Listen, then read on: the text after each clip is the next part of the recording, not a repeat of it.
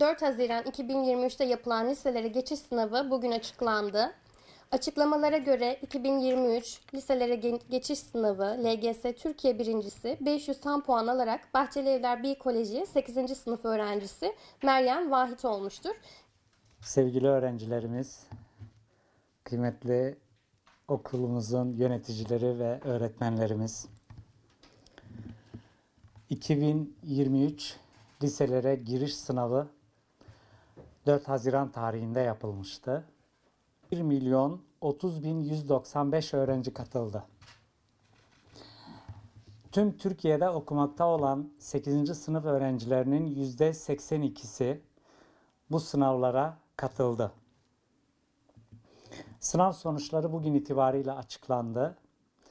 Açıklanan sınav sonuçlarına göre Bahçelievler Bil Koleji öğrencimiz Meryem Vahit bütün sorulara doğru cevap vererek 500 puan aldı ve bu sonuçla Türkiye birincisi oldu. Türkiye şampiyonu oldu.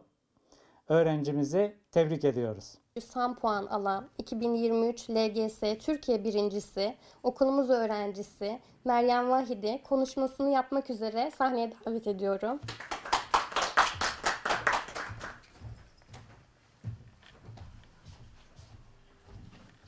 Aslında konuşma yapacak pek bir şey yok ama söyleyebileceklerimden yani şunu söyleyebilirim. Çok heyecanlıyım. Bütün hocalarıma ve okulumuza çok teşekkür ederim. Sonuçta emeğimde onların da çok büyük bir katkısı var. teşekkür ederim. Dilde başarı bir kültürdür diyoruz. 1994 yılından beri LGS ve YKS, lise ve üniversite sınavlarına öğrenci hazırlayan, köklü bir geçmişi olan Milli Eğitim Kurumlarında bu senede bayrağımızı Bahçeli Evler Bil Koleji'nden öğrencimiz Meryem Vahit taşıyor. Biz öğrencimizin eee, şu detayını kaçırmayalım. Özellikle vurgu yapmak istiyorum. 2019 yılında 4 yıl önce Bahçeli Evler Bil Koleji'ni açtığımızda pandemi patladı. Meryem Vahit 2 yıl uzaktan eğitim gördü ve Bil Koleji'nin güçlü hibrit eğitim platformlarıyla, güçlü öğretim ve eğitim kadrosuyla Meryem Vahit bu zorlu süreci de atlatıp 8. sınıfta tam puan yaparak LGS birincisi olmuştur.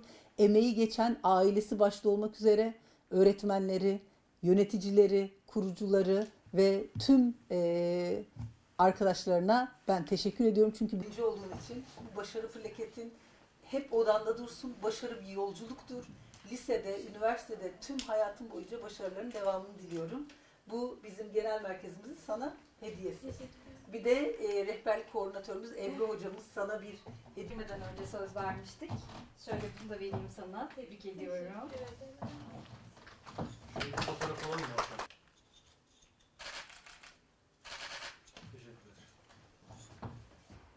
Meryem. Başarılarının devamını diliyoruz. Tebrik ediyoruz. Hayat boyu başarıların devam etsin. Evet, tebrik ediyoruz. Başarı kupası da odasında yerini alacak. Sana hayat boyu başarılar diliyoruz.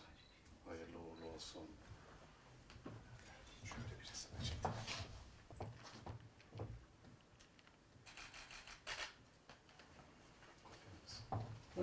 Okullarında durması için genel merkezimizden Bahçelievler Bil Kolejimize başarı plaketlerini takdim ediyorum. Artık her sene derece alan öğrencilerimiz Kayra, yine LGS derecesi yapan öğrencilerimizden İbrahim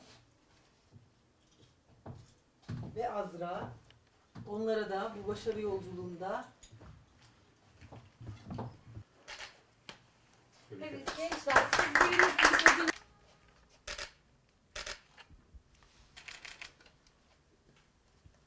Çok mutlu ve heyecanlıyım.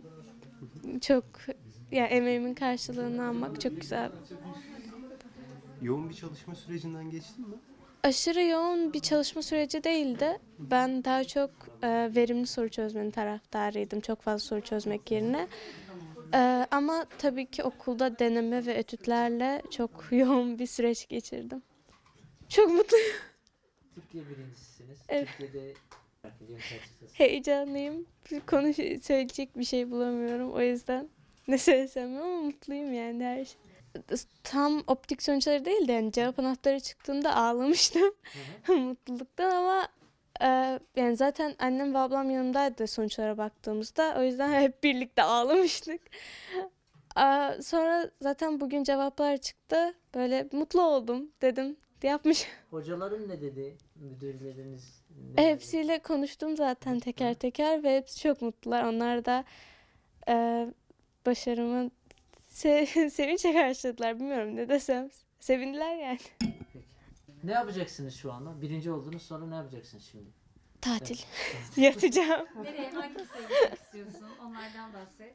Galatasaray'a gitmek istiyorum. Sonrasında da yurt dışında moda tasarımı okumak istiyorum. Veli olarak gururlandım. Ee, çok gururlandım. Ee, çok sevindim. Ee, çok mutluyum. Şu an kelimelere dökmekten mutlu yani mutluluğumu kelimelere dökmekte zorlanıyorum. Ama öncelikli olarak öğretmenlerine ve e, okuluna çok teşekkür ediyorum.